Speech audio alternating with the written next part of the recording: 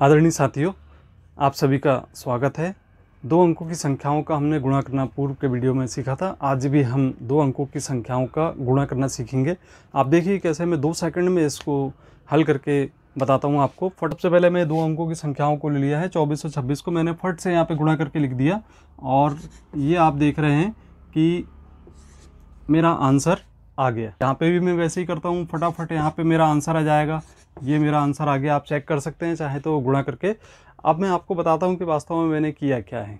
इसके लिए आप देख रहे हैं यहाँ पे दो अंकों की संख्याओं को लिया है और ये मैंने गुणा करके यहाँ पर लिख दिया है। इसके लिए मैंने क्या किया, मैंने ये अंतिम दो अंकों को गुणा किया और यहाँ पे लिखा।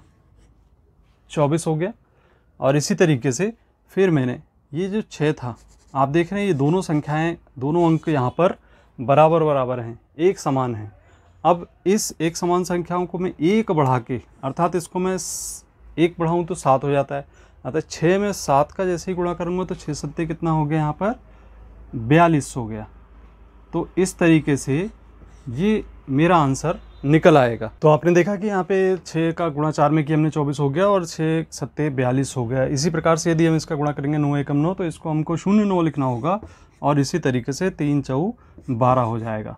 तो दो सेकंड लगा आपको इस ट्रिक को करने में, आइए इसके पीछे का तर्क जाने कि वास्तव में तर्क क्या है, कि ये ट्रिक किस तरीके से कार्य करती है। सबसे पहली बात, इसमें ये जो अंक हैं, आप देख रहे हैं, ये अंक आपके दोनों अंक एक जैसे हैं। एक समान है।